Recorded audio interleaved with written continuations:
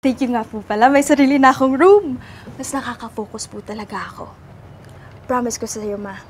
Hindi masasayang pag-work mo dyan para sa school ko. I love you, ma.